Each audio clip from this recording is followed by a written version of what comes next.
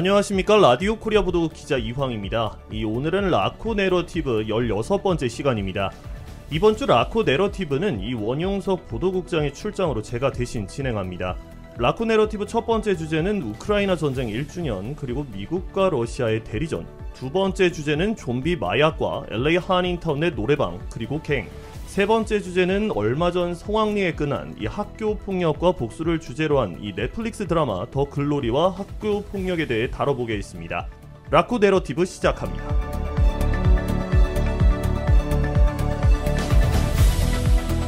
자 오늘 패널은 심요나 기자와 김신우 기자, 이채원 기자가 나와 있습니다. 안녕하십니까? 안녕하십니까. 네, 먼저 첫 번째 주제입니다. 이 러시아의 침공으로 시작된 우크라이나 전쟁이 이제 1년이 지났고 이에 대한 반응을 이제 한인들에게 물어본 심요나 기자의 기사인데요.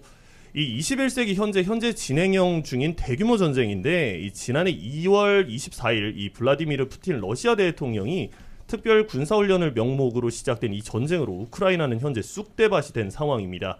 이 러시아의 일방적인 침공으로 우크라이나는 이 전쟁 초기 고전을 면치 못했었는데 즉시 미국과 나토가 개입을 했고요. 이를 두고 러시아는 지속적으로 전쟁에 개입한 미국과 나토를 비판해 왔습니다. 이 핵무기 사용까지 언급하면서 강도 높은 발언으로 이 세계를 공포로 몰아넣었고 지금은 중국이 러시아 측에 서는 모양새를 보이고 있습니다.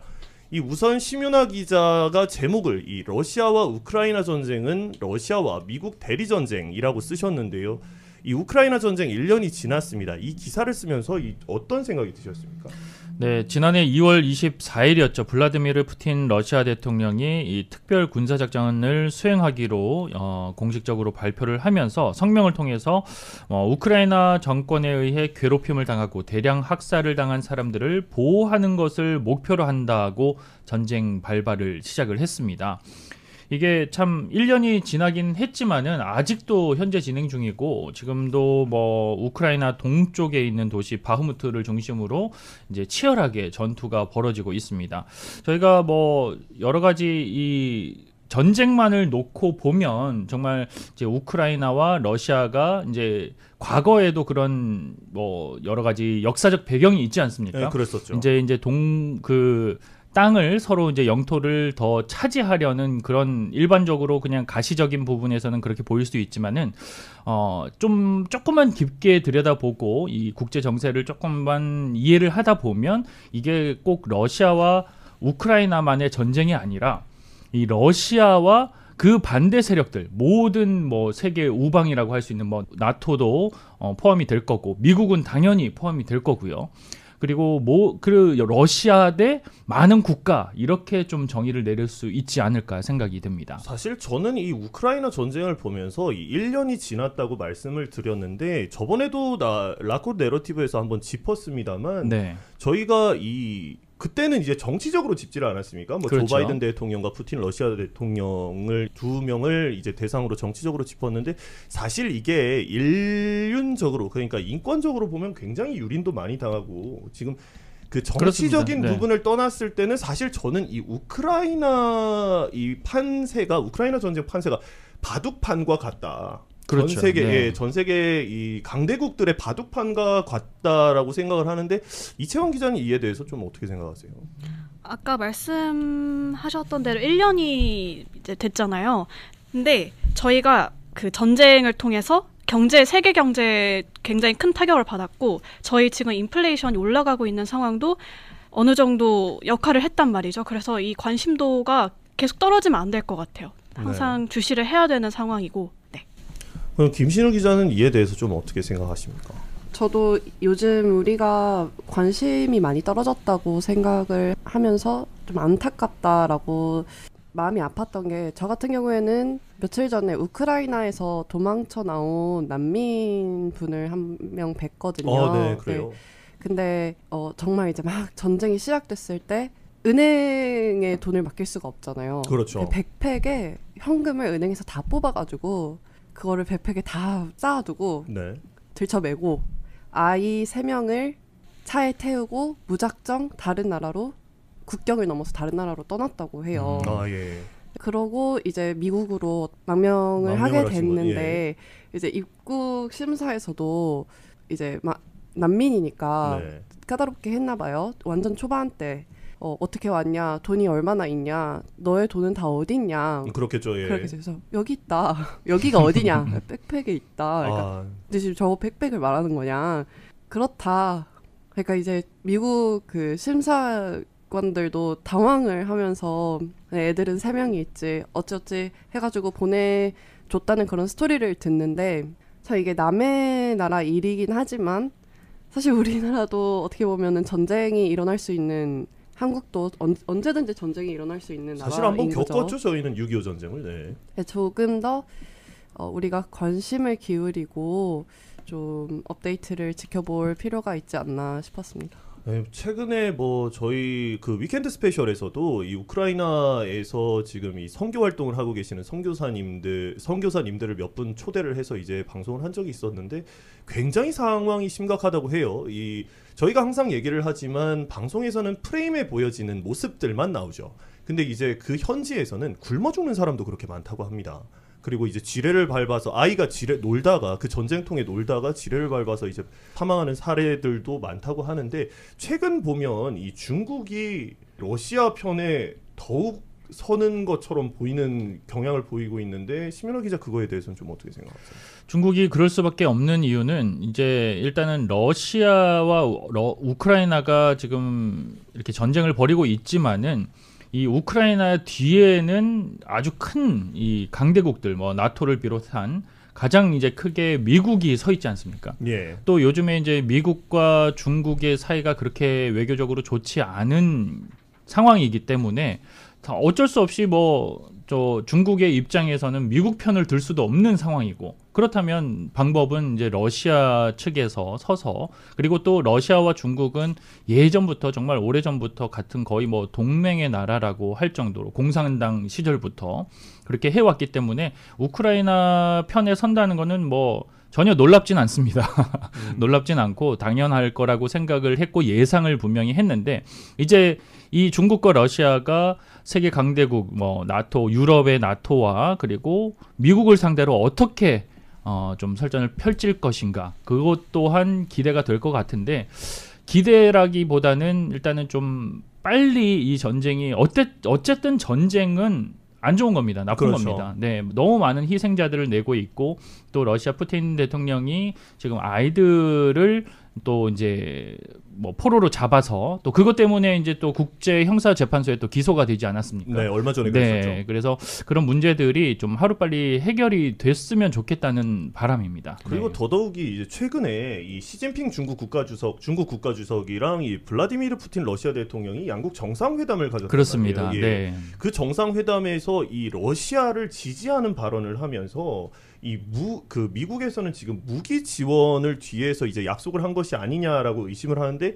저는 이거를 봤을 때 지금 중국이 이렇게 러시아 측에 서는 이유가 미국이 러시아를 제대로 컨트롤을 못하니까 이 자신들도 이제 대만이 있지 않습니까? 지금 대만 영유권을 놓고 지금 계속해서 미국과 줄다리기를 하고 있는데 지금 그거에 대해서 조금 생각을 하는 거 아닌가? 또 전략 분석가 중에는 2027년쯤에는 아 중국이 대만을 정말 침공할 수도 있다라는 가능성도 일각에서는 나오고 있거든요. 이거를 봤을 때 중국이 대만을 노리고 지금 러시아와 좀 친하게 지내는 것 같지 않냐라는 전망도 나오는데 좀 그거에 대해서는 어떻게 보세요? 러시아 대통령이랑 중국 국가주석이 만났을 때 또 그 우크라이나 평화를 촉구하는 공동 성명을 발표했잖아요. 네. 그런데 그 바로 다음 날에 시진핑이 러시아를 떠나니까 우크라이나에 대한 미사일 공습을 다시 재개를 했어요. 네네. 그랬죠. 바로 다음 날. 그러니까 평화를 운운한 바로 다음 날 이런 공습을 재개를 하면서 또 논란이 일었는데 이게 좀 큰 이슈가 됐었던 게 어, 공습 지역이에요.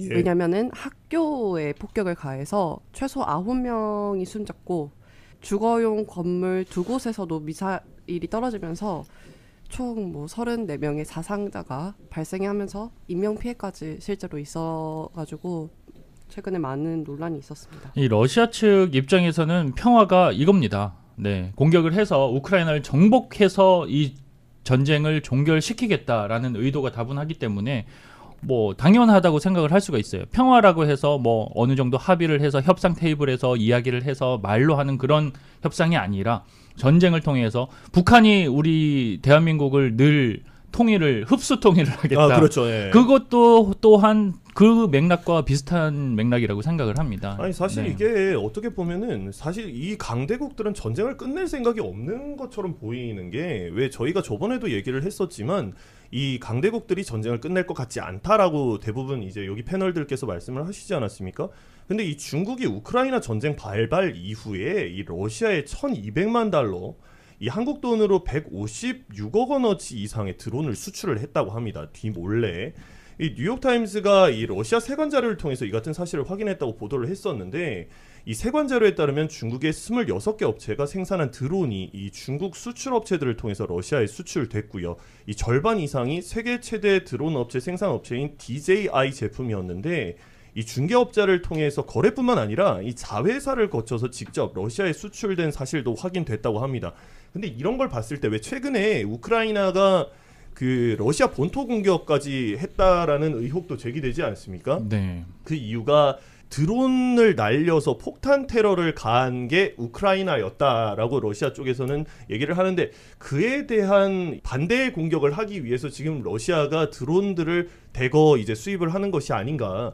또한 지금 뭐 전면전을 펼쳤을 때 지금 나토와 미국이 뒤에 서 있는 우크라이나를 걔 감당하기 힘들어하는 것 같아요. 지금 보면 계속 뭐 무기 수출 얘기가 나오고 이제 우크라이나 쪽에서는 계속 전승이라는 얘기가 나오는데 러시아는 계속 전패라는 얘기가 나오고요. 지금 최대 격전지 중에 하나였죠. 네, 지금 바흐무트를 뺏기냐 아니면 뺐느냐가 지금 관건인데 지금 러시아는 어떻게 보면 자존심 싸움을 하고 있는 거 아닌가. 그럼 이 자존심 싸움을 통해서 중국은 반사 이익을 보려는 것이 아닌가라는 생각이 듭니다. 이채원 기자 그러면 이 전쟁을 봤을 때 저번에도 한번 물어봤을 때는 안 끝날 것 같다라고 얘기를 했었는데 전쟁을 봤을 때 이게 끝날 것 같다고 생각하세요? 어떻게 보세요? 그 협상 테이블로 돌아갔을 때 이제 중국 측에서는 러시아의 종전 계획 에 대해서 이제 얘기를 논의를 했는데요. 네. 근데 이 종전 계획이 어쩌면 시간 끌기가 될 수 있다는 이제 미국의 우려도 나오고 있고 이제 블링컨 국무장관은 여기에 또 속으면 안 된다. 라고 얘기를 하고 있는 상황입니다. 그래서 러시아 입장에서 이 모든 걸 통틀어 봤을 때는 중국이 유일한 생명줄이 아닌가라고 생각을 하고 있습니다. 저는 이 대목에서 제일 궁금한 것은 이 누구 말이 맞다고 보세요? 미국이랑 러시아, 중국 뭐 다다 국가별로 사정은 있겠습니다만 누가 맞다고 봐요? 진실은 네. 말은 없는 것 같아요. 네. 중국 측에서 종전 계획을 하는 게 정말 이 시간 끌기가 맞는 거고 미국 측에서는 그걸 우려를 하고 있는 상황이고 뭐 다 거짓말을 하고 있는 것 같지 않습니다. 보는 시각이 조금씩 네. 다른 것 네. 저는 이 부분에서는 좀 그런 생각이 드는 게 예전에 아프가니스탄 전쟁이랑 이라크 전쟁을 보면 이 제가 미국을 나쁘다라고 얘기하는 건 아닙니다. 이제 거기에 있는 자유를 되찾기 위해서 이전 세계 경찰이라고 얘기를 하는 미국이 이제 투입을 해서 이제 전쟁을 이끌어 왔었던 전쟁들이기 때문에 그런데 조금 우려되는 부분은 거기가 소위 말하는 무기쇼였다고 해요. 그렇죠. 네. 뭐 폭격기죠. B2도 그때 나왔었고요. M1A1 전차도 그때 나와서 이제 뭐 대량으로 사용을 했던 기억이 있는데 사실 우크라이나 전쟁이 제가 아까 바둑판이라고 얘기했었던 이유가 아 이번에도 강대국의 알력 싸움에 우크라이나가 조금 희생되는 거 아닌가라는 그런 생각도 좀 해봅니다. 제가 스트릿 사운드를 진행을 하면서 이제 많은 좀 시민들에게 우크라이나 전쟁과 우크라이나와 러시아 이 전쟁에 대해서 좀 여쭤보지 않았습니까? 예. 근데 대부분의 시민들은 이 전쟁 을 정말 이 우크라이나랑 러시아가 싸우 표면적으로는 그렇게 싸우고 있지만은 네. 모든 분들이 미국과 러시아의 전쟁이다라는 말에 동의를 하셨습니다. 네. 그냥 왜냐하면 이게 미국이 그만큼 우크라이나를 지원을 해주고 있고 진짜 전폭적인 지지를 해주고 있지 않습니까? 네, 그 그렇죠. 거기에는 또 그 이후에는 또 들어가 보면 정치적인 부분들 뭐 다 좀 들어가 있긴 하지만은 정확하게 봤을 때는 뭐 정말 이 미국이 세계 평화를 위해서 어 우크라이나를 지원을 해주고 있다라고 생각하시는 분들은 몇 안 되셨던 것 같아요. 네. 아무래도 이제 미국의 자국의 이익, 뭐 군수 물자라든지 지원은 정말 많이 해주긴 하지만은 군수 군수 물자라든지 이런 부분들을 또 통해서 이득을 자국의 이익을 분명히 볼 수 있는 부분이 있기 때문에 특히 이 조 바이든 대통령의 이 정권 같은 경우에는 정말 민주당과 우크라이나가 정말 밀접하게 좀 연결이 돼 있습니다. 네. 그렇기 때문에 어, 좀 그 부분이 상당히 큰 역할을 차지하기 때문에 좀 전폭적으로 밀고 있지 않나. 그래서 어, 정말 제2의 냉전 시대가 좀 올 수도 있지 않나 그런 우려가 됩니다. 그 강대국들 틈바기 사이에서 희생되는 것은 과연 누구인가라고 생각을 해봤을 때 이 상황이 어찌됐든 어떠한 명분으로도 전쟁은 용인될 수 없고요. 이 우크라이나 국민들은 전쟁으로 가족과 터전, 일상을 잃은 상황 아니겠습니까? 이 그리고 초강대국들의 수싸움에 이 우크라이나 국민들은 1년이 지난 현재도 이 참혹한 현실에도 살고 있으니까 이 하루빨리 종전돼서 평화가 찾아오기를 바라는 마음뿐입니다. 이 라쿠 내러티브 두 번째 주제로 다시 돌아오겠습니다.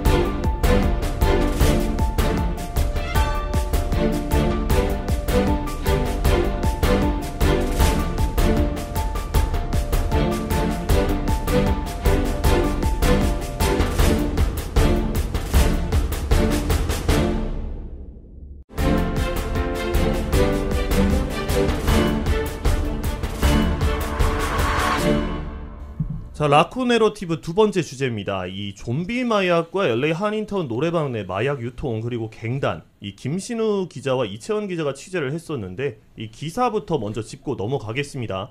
우선 가장 최근에 김신우 기자가 쓴 마약 관련 기사인데요. 이 제목이 살벌합니다. 이 팔다리가 잘려도 한다. 이 좀비 마약 48개 주에서 유통 비상이라는 섬뜩한 제목의 기사인데 이 기사부터 좀 읽을게요. 이 최근 기하급수적으로 증가하는 자일라진 혼합 약물 과다 복용 사례로 이 마약 단속국에 비상이 걸렸다고 합니다. 이 당국은 그동안 미국이 직면한 가장 치명적인 마약으로 펜타닐이 꼽혔지만 이 자일라진 혼합 약물이 그 심각한 수준을 넘어섰다고 우려했고요. 이 마약 단속국은 전국 50개 주 가운데서 거의 대부분인 48개 주에서 이 자일라진 혼합 약물 유통이 확인됐다고 밝혔습니다.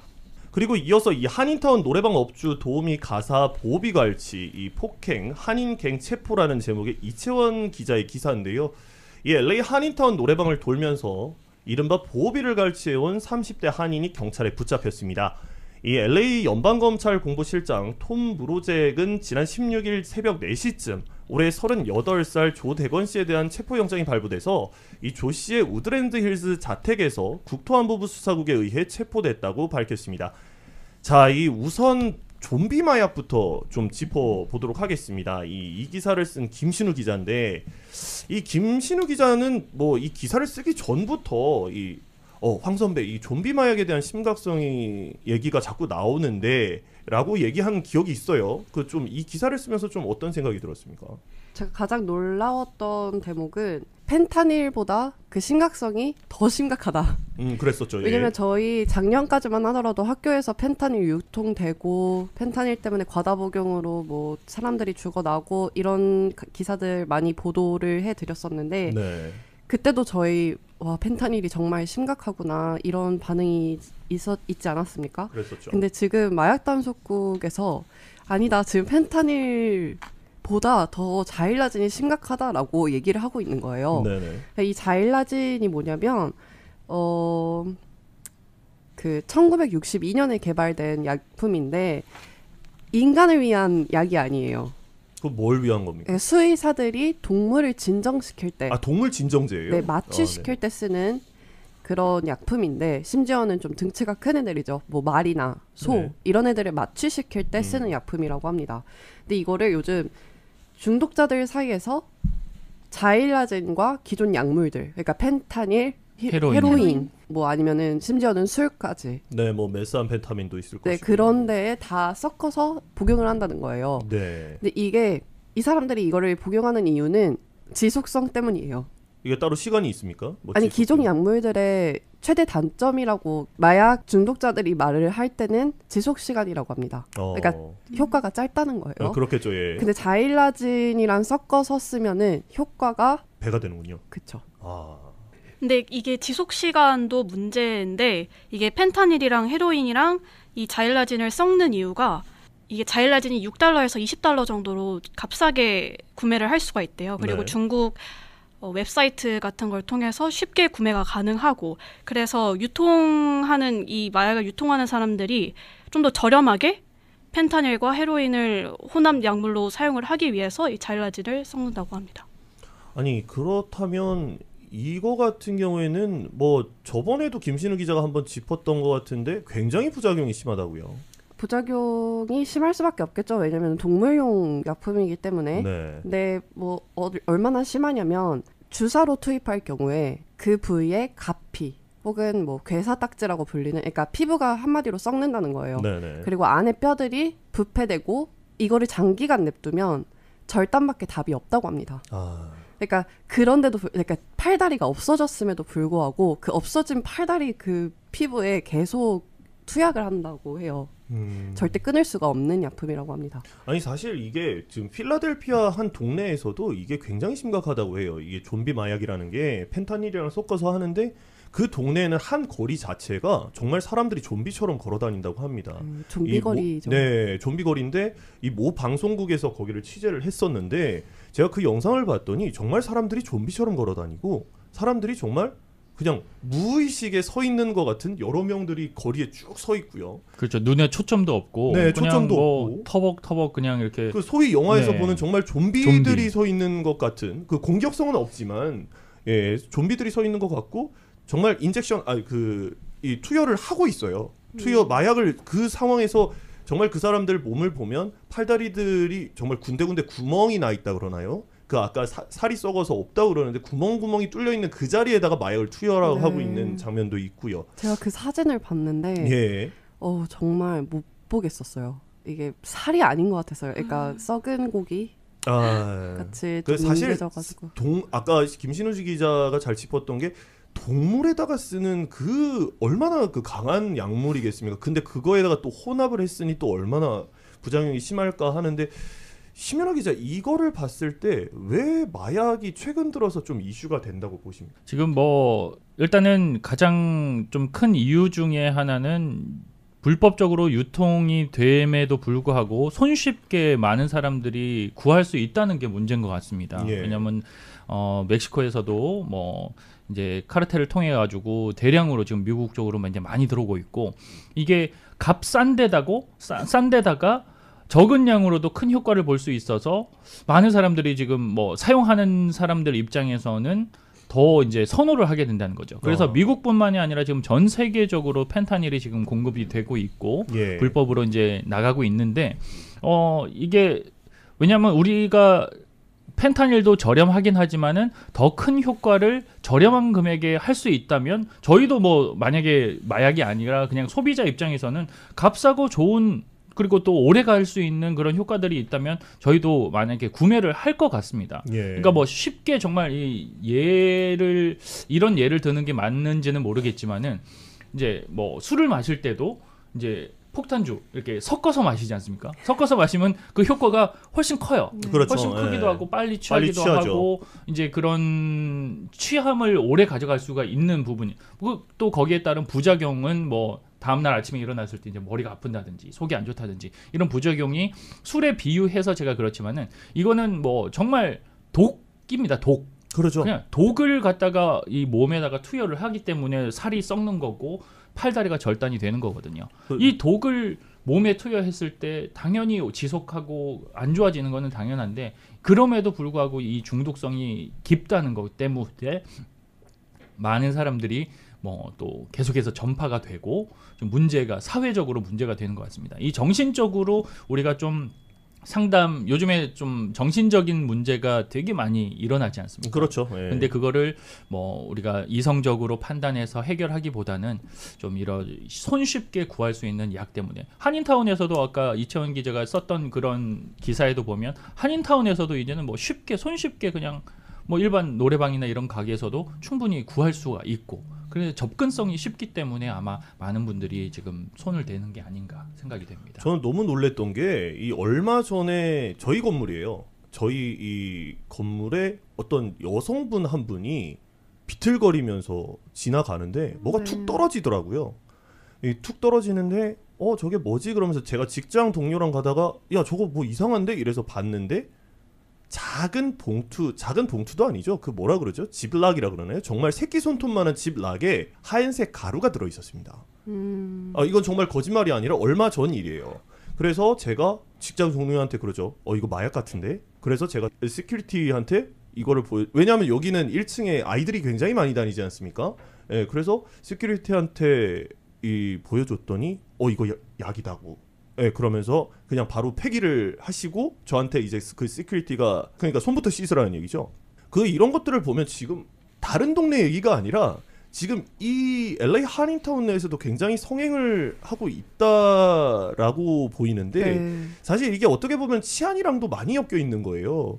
뭐 이채원 기자가 얼마 전에 방금 말씀을 하셨지만 이제 노래방 갱 관련 기사를 썼었는데 에, 이채원 기자는 이거 봤을 때 좀 어떤 생각이 드셨습니까?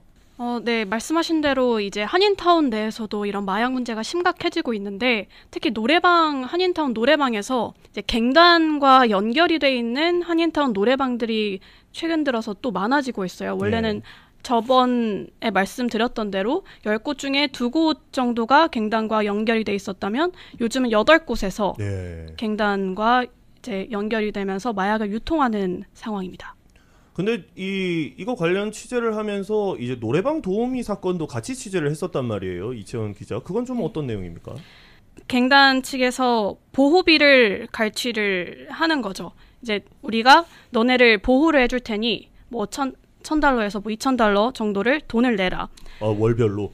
내 월별로. 네. 근데 그래서 이제 최근에 어 지난 16일 올해 38살 조대건 씨가 붙잡혔죠. 갱단 멤버로 알려진 조 씨가 이조 씨에 대한 수사가 1년 전에 시작이 됐고요. 한인타운 노래방 업주들이랑 도우미 운전기사들에게 보호비를 갈취를 했는데 이 조 씨가 보호비를 갈취하는 그 과정에서 폭행과 협박 그리고 납치 등을 저질러서 보호비를 내도록 한 것으로 드러났습니다. 이 사실 이런 사건들을 보면 이 요즘에 노래방 노래방 하는 사건들이 많이 터지고 있거든요. 지금 이제 약으로 유통이 되면서 이거 자칫 잘못하면 정말로 이제 미성년자들까지도 그런 노래방에 가게 되면 노래방을 넘어서 약물에 빠질 수도 있다는 우려가 나오는데 좀 그거에 대해서는 어떻게 생각하세요? 어, 이게 아무래도 그 노래방이라는 그 업종의 특성상 막 밝게 막 뭐 콘서트장처럼 이렇게 대낮에 휘황찬란하게 이렇게 해놓지는 못하지 않습니까? 아무래도 그렇죠. 약간 좀 어두침침하고 노래를 정말 즐기면서 부를 수 있는 분위기를 만들다 보니까 좀 어두워지는 경향도 있었는데 아무래도 좀 이게 또 방마다 칸 칸씩 좀 이렇게 프라이빗을 좀 확보를 해주다 보니까 이렇게 쉽게 약을 건네거나 이런 것들이 노출이 안 되는 거죠. 아무래도 그리고- 아버지 네. 입장이니까 좀 어, 우려되시는 분 우려되지는 않습니다. 뭐 아직까지 자녀분이 어리긴 합니다만 그렇죠. 아무래도 학교나 왜냐하면 요즘에 펜타닐이라든지 이런 학 어, 마약성 진통제들이 학교에서도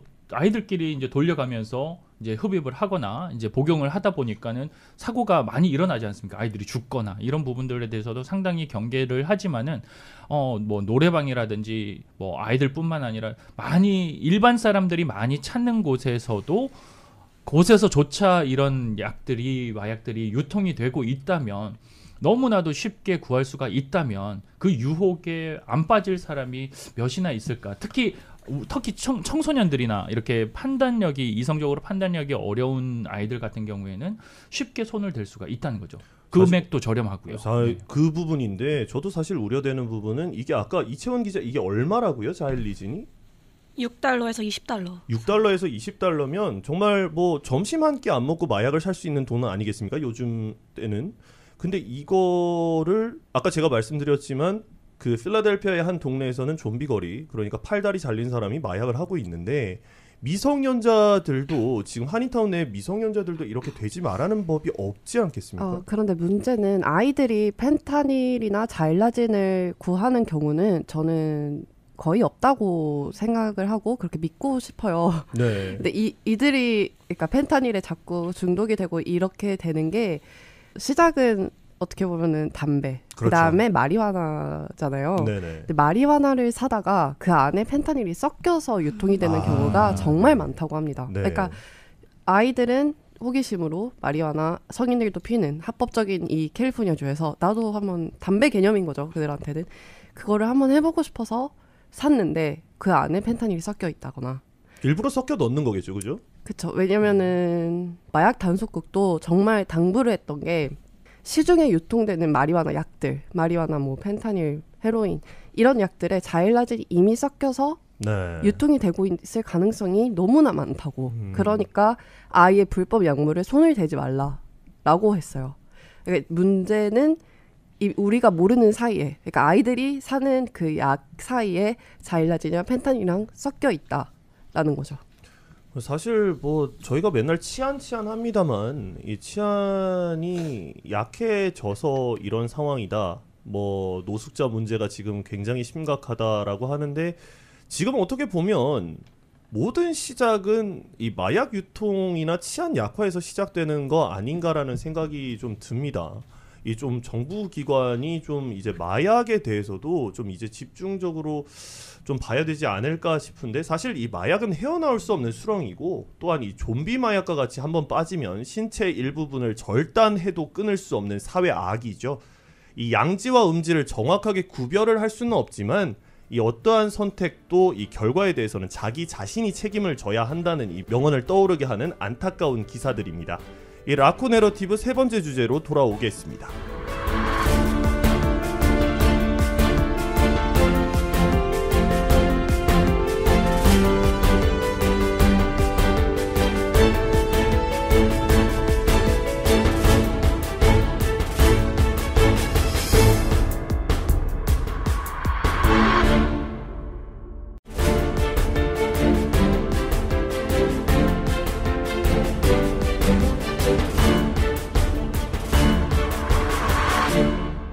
자, 라코 내러티브 세 번째 주제입니다. 이 성황리에 막을 내린 학교 폭력과 복수를 주제로 다룬 넷플릭스 드라마 이 더 글로리인데요.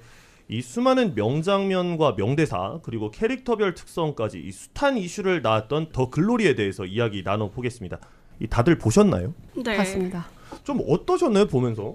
어, 되게 사실적이었고 저는 고등학교 뭐 일단은 그 친구들이 거기에 등장하는 인물들이 이 고등학교 때에 학폭을 당했던 그런 네. 부분이라서 저 제가 고등학교 때를 한번 생각을 해봤는데 그 정도까지는 아니었던 것 같은데 어, 그렇죠. 예. 어, 요즘에는 저렇게 하나 싶을 정도로 어, 좀 충격적이었어요. 어 근데 저도 사실 모르겠습니다. 이게 제가 나이 차이가 얼마 안 나서 그런지 모르겠습니다만 저희 때도 그렇게 심하진 않았거든요. 아 뭐 일진이 있긴 있었습니다만 그렇다고 해서 뭐 일진이 뭐 어디 애를 데리고 가서 정말 뭐 정말 거기 보면 고데기로 지지고 뭐 그런 뭐 장면들이 네. 있는데 이거는 폭행이 아니라 고문이죠. 아, 그쵸. 고문도 네. 그런 고문이 없어요. 그러니까 고문 네. 수준으로 했는데 저희는 저희 때는 뭐 기껏 해야 일단 목적이 확실했지 않습니까? 데리고 돈- 가서 돈을 네. 뺏는. 삥 소- 소위 네. 삥 뜯는다 그러죠. 네. 예. 근데 그렇게 뭐 지속적으로 뭐 예전에 이제 일본에서 이지메라는 아, 그렇게 이제. 왕따를 시키고 뭐 이렇게 폭력을 가하고 괴롭힘을 강하는 거는 있었지만은 수위가 이 정도까지는 아니었다고 생각이 들거든요. 지금 와서 돌이켜 보면. 네, 그렇죠. 근데 참 요즘이 요즘 아이들이 진짜 이런 학폭을 겪고 이렇게 한다면 정말 충격적이지 않을 수가 없습니다. 어, 김신우 기자랑 이채원 기자는 좀 더글로리 어떻게 봤어요? 저는 그 더글로리 보면서 이제 송혜교 송혜교 문동은, 네. 문, 네, 문동은이 자기가 당했던 거를 하나씩 하나씩 되돌려주면서 그 다른 학폭 가해자들이 표정이 일그러지고 이제 일생이 좀 이렇게 막 좀 엉망이 되죠, 네, 네. 엉망이 되고 소위 이런 걸 사이다라고 보면서 하지 않습니까? 네, 예. 약간 사이다. 좀 속이 시원한 그런 느낌을 받았습니다. 어. 이게 어떻게 보면은 좀 굉장히 좀 신랄하게 나오잖아요. 저도 이걸 보면서 어. 누가 저렇게 괴롭히지? 아. 그러니까 정말 드라마다라고 생각을 했어요. 근데 이거를 찾아보니까 약간 실제로 있었던 사건을 반영을 했더라고요. 음, 네. 그래서 아 사태가 많이 심각하구나. 학폭이라는 사태가 한국에서 정말 심각한 사회적 문제로 자리 잡고 있구나라고 생각했습니다. 이게 얼마나 심각하냐면 뉴욕 타임스에서도 이 음. 한국의 학교 폭력 문제에 대해서 심각하다라고 이제 기사를 보도를 할 정도로 예, 그랬었죠. 이게 예. 뭐전 뭐 더 글로리가 세계적으로 이제 인기가 있는 것도 있었지만은 그거를 통해서 이 한국 사회의 학교 폭력 문제를 다시 한번 좀 재조명할 수 있었던 계기가 된 거죠. 네. 뉴욕 타임스 측에서도 연예인들이나 뭐 정치인들 좀 유명인들이 학폭으로 인해서 뭐 연예계 생활을 그만둬야 한다거나 그런 상황에 대해서 조명을 하면서 연예계 아무리 높은 고위층 인사여도 학폭이 논란이 된다면 그런 모든 고위층 지위를 내려놔야 되고 이런 상황에 대해서 오히려 긍정적으로 보고 있더라고요. 네, 이게 왜냐하면 본인이 학폭을 안, 지, 안 저질렀다 하더라도 저 얼마 전에 이제 그 윤석열 대통령이 국가수사본부장으로 임명한 정순신 변호사도 아, 본인은 그랬었죠. 아니지만 음. 본인의 아들이 학폭을 저질렀다는 이유로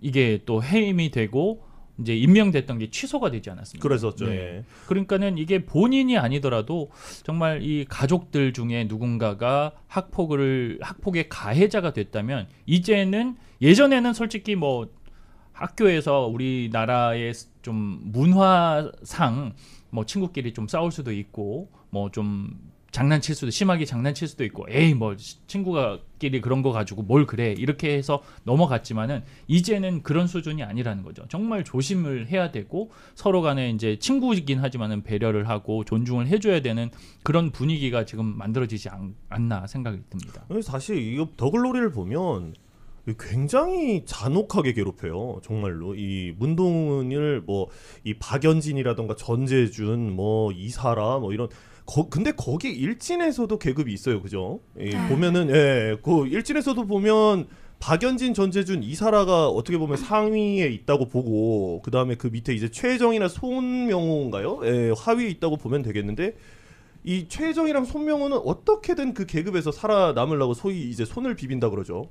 이제 박연진이나 이런 애들한테 근데 또 일진들이 보면 또 부자인 경우가 많은가 봐요. 이 보면은 박연진도 거기서 보면은 굉장히 부자로 나오지 않습니까?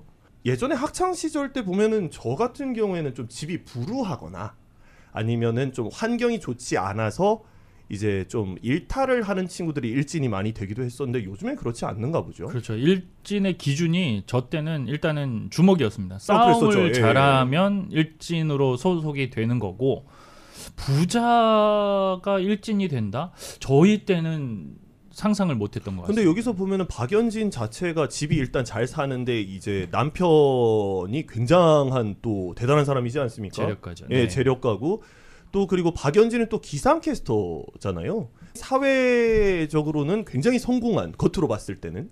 근데 저는 이런 걸 보면서 좀 아 이 부자 아 뭐 제가 지금 부자들을 욕하는 건 아니지만 이 부잣집에서 밑에 자녀들의 인성 교육부터 좀 단단히 시킨 다음에 좀 사회로 내보내야 되지 않나라는 생각을 해봤어요. 드라마 측에서 그렇게 인물을 부자로 설정을 한 게 이 부자들은 학폭이 만약 일어난다면 쉽게 덮을 수 있잖아요. 그렇죠. 런 장치들을 좀 숨겨놓으려고 일부러 그렇게 한 것 같아요. 근데 현실에서는 뭐 돈이 많다고 해서 일진이 된다거나 뭐 그런 건 잘 모르겠어요. 그러니까 아무래도 네. 이 드라마기 때문에 네, 이제 그쵸. 좀 극적인 효과를 최대화하기 위해서 조금 연출된 부분들도 없지 않을 거라고 생각을 합니다. 하지만은 이런 이제 문제가 좀 대두되면서 더 글로리가 유행하면서 여러 부분에서 지금 요즘에 한국 문화 자체가 학폭이 많이 터지지 않습니까? 그렇죠. 왜냐하면 이 피해자 입장에서는 그때는 뭐 그냥 이렇게 넘어갔었었는데 나를 괴롭혔던 나를 때렸던 아이가 잘 돼서 막 TV에 나와서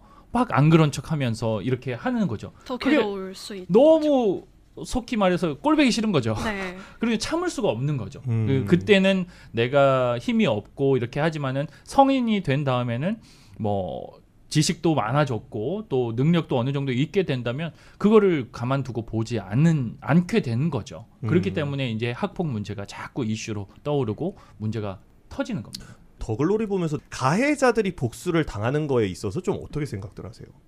그러니까 복수도 이게 지금 문동은이라는 그 송혜교가 연기한 문동은이라는 사람도 복수를 택해서 자기 인생도 망가졌지만은 타인 그, 그 가해자들의 인생도 지금 망치지 않습니까? 네. 근데 저는 이렇게 봤을 때는 복수의 방법은 조금 잘못되지 않았나. 너무 음. 이제 좀 가악하기도 하고 뭐 이해는 합니다.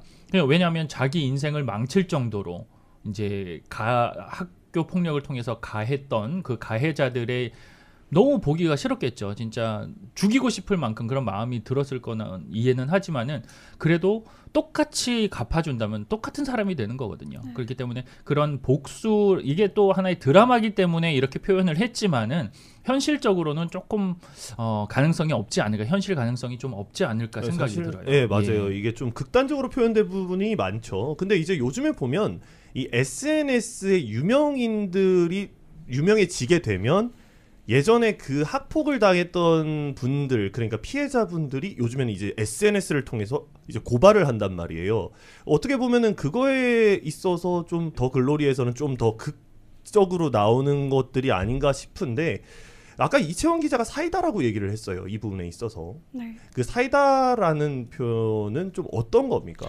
아, 저희가 아까 사이다라고 얘기를 하긴 했는데 그 심연아 기자님께서 말씀을 하신 대로 이게 법 으로 복수를 하는 게 아니라 전재준 애 같은 경우는 이제 죽음에 이르렀고 아니면 뭐 폭력이 있다거나 이런 사태까지 일어났는데 이제 법치주의 국가 안에서 혹시나 이 드라마를 보고 아 그렇죠. 복수를 한답시고 이제 법이 아닌 혼자서 복수를 한다고 뭐 폭력을 가한다거나 혹시 이런 상황이 있을까봐 좀 우려되는 부분도 있긴 합니다. 그 심연아 기자께서 뉴욕 타임스 기사 얘기를 했었는데 이게 그거죠. 이 한국인들 학폭 가해자 사회적 매장 지지 보도 아니겠습니까? 네. 음. 이 김신우 기자 이 사회적 매장, 이 가해자들의 사회적 매장 이 어떻게 생각하세요? 더글로리에 나온 가해자들처럼 뭐 신체적 학대가 있었고 고문이 있었고 또 살인까지 하지 않, 않습니까? 그렇죠. 예. 이런 사람들은 매장이라기보다 약간 법적인 처벌을 받아 받게 하는 게 맞죠. 음. 근데 사실 요즘 약간 무차별적으로 마녀 사냥하는 경우도 안타깝게 있더라고요. 아, 예, 예, 그렇죠. 뭐좀 다툼이 있었을 뿐이다라고 연예인이 해명을 하면은 뭐 한 사람 매장시키듯이 정말로 마녀 사냥을 막 없었던 일까지 이- 이렇게 꾸며내면서 좀 과장까지 하면서 만들어 이야기를 만들어내고 이 한 사람의 이미지를 막 실추시키는 경우도 좀 여럿 있었던 것 같아서 그런 부분은 좀 안타깝지 않나라고 생각을 했습니다. 저는 사실 이 더글로리 보면서 굉장히 감정이입을 많이 했던 게 어릴 때부터 같이 자라왔던 그 동네 친구들이 있지 않습니까? 그 중에 한 분이 이 학폭 피해자였어요. 예, 이제 초등학교는 같이 다녔으나 중학교를 이제 다른 동네로 그 친구는 가게 된 거죠. 근데 이 그 중학교에서 이러한 괴롭힘을 굉장히 뭐 여기서처럼 뭐 고데기로 지지거나 그런 장면은 아니었겠지만 맨날 돈 뜯기 왜 집이 좀 잘 살았거든요. 맨날 돈 뜯기고 뭐 소위 말하는 빵 셔틀 하고 그래서 그 친구가 방송에서 이런 표현을 해도 될지 모르겠습니다만 극단적인 선택을 했었어요. 다행히 뭐 생명의 지장은 없었지만 왜 한 사람의 인생을 그렇게 망치느냐? 아 조금 더 돈이 많다고 해서 조금 더 좀 힘이 세다고 해서 예. 이게 좀 모르겠습니다. 방송으로 나가면 어떻게 들릴지 모르겠습니다만 지금도 혹시나 이 방송을 듣고 계신 분들 중에 가해자가 있을 수도 있고 피해자가 있을 수도 있어요. 복수는 안 되겠죠. 이 법치 국가에서. 다만 가해자들이 양심의 가책은 느껴야 되지 않냐. 그리고 사회적으로 잘 되길 바라진 않습니다. 그런 사례들을 놓고 봤을 때 제 친구는 아직까지도 사람 눈을 제대로 못 쳐다봅니다. 그 친구는. 근데 김윤숙 작가님이 이 더글로리를 만들면서 가장 피해자분들께 전하고 싶었던 메시지가 예. 그거래요. 왜 학교에서 이렇게 선생님들이 그 사태에 대해서 이 왕따 사건이 발생을 하면은 면담 같은 걸 하지 어, 그렇죠. 한- 네네. 자- 하잖아요. 그러면은 피해자한테 꼭 그걸 묻는데요. 너는 뭐 잘못한 거 없어? 애들이 왜 저러는지 한번 너가 생각해봐. 이런 말을 꼭 묻는데 이게 피해자들한테는 정말 상처가 되는 말인가 봐요. 네. 그래서 김은수 작가가 이 드라마를 만들면서 제일 전하고 싶었던 이야기가 너는 잘못한 게 없어. 그냥 그들이 못돼서 그들이 못나서 너는 잘못한 게 없는데 그냥 걔네가 인성이 그래서 너가 당한 거지. 너는 잘못한 게 없어. 음. 가 전하고 싶었던 메시지라고 합니다. 이게 뭐 상황에 따라서 충분히 다른 부분이 다르게 해석할 수도 있고 이제 다르게 받아들일 수도 있는 부분이지만은 어쨌든 어쨌든 학교 폭력도 범죄입니다. 그럼요. 예. 폭력은 변- 범죄입니다. 네. 그래서 어떤 이유를 막론을 하고라도 학교에서 이루어지는 폭력이기 때문에 묵인되고 뭐 그 징계가 가벼워지고 뭐 그냥 정학 뭐 아니면 다른 곳으로 가는 전학 이런 것뿐만이 아니라 어, 동일하게 정말 이 큰 범죄라는 거를 인식을 하고 이제 이 대한민국이 예전에는 그렇지 못했다면 이번 이 더 글로리라는 이 드라마를 통해서 또 다시 한번 이 사회적 분위기를 좀 재조명을 하고 다시는 또 이런 학교 내에서도 이런 범죄가 일어나지 않도록 좀 우리가 다시 한번 이 각성할 필요가 있다고 생각을 해요. 그 기회를 준 게 아마 이 더글로리가 아닐까 생각이 됩니다. 음, 저는 사실 이 더글로리 드라마로 인해서 아 좀 부자면 어떻고 돈이 없으면 어떻고 좀 힘이 약하면 어떻습니까? 좀 못생기면 어떻고 좀 다 잘 지내고 좀 그랬으면 좋겠는데 방금 심윤아 기자께서 말씀하셨듯이 좀 그러한 메시지들이 좀 한국을 뿐만 아니라 이 넷플릭스 이 드라마가 나간 곳곳에서 좀 퍼졌으면 좋겠고요. 이 더글로리라는 드라마가 이 흥행을 넘어서 이 학교 폭력에 대한 심각성과 이 학폭과 가해자는 절대 인정될 수 없다는 권선징악의 메시지를 이 사회에 던진 드라마로 남게 됐습니다. 이 오늘 라코데러티브는 여기까지 마치도록 하겠습니다. 이 청취자분들의 소감은 저희 유튜브 게시판을 통해서 전해주시면 되고요. 이 다음 주부터는 다시 원용석 보도국장이 진행합니다. 애청해주셔서 감사합니다. 감사합니다. 감사합니다.